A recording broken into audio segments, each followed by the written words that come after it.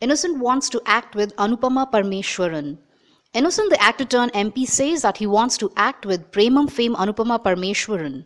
He was talking in a recent event conducted at his hometown, Irinjalakuda, which is also the hometown of Anupama. The actor finally stated that he always wanted to romance the young heroines of the industry, but will end up with KPAC Lalitha. He added that he has prayed to God to cast him opposite more actresses than he got Adoor Bhavani and Sukumari.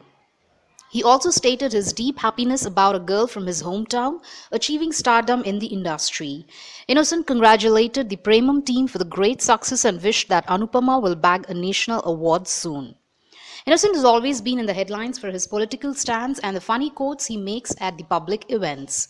Even though some media and public criticize him for being a responsible MP, his fans are always by his side.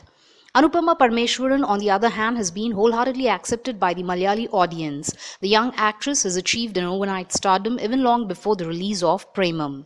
The actress feels that her fans betrayed her after watching Premam, as Sai Pallavi earned huge appreciations than the other two actresses in the movie.